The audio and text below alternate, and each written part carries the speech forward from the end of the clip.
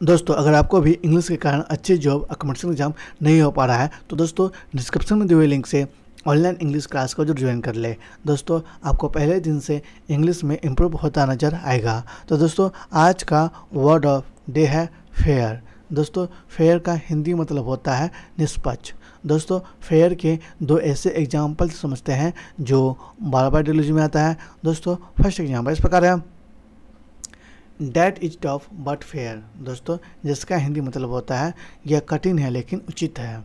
दोस्तों second example इस प्रकार है। No that is that is not that is not fair दोस्तों, जिसका हिंदी मतलब होता है, नहीं वह वह नहीं है, यह उचित नहीं है।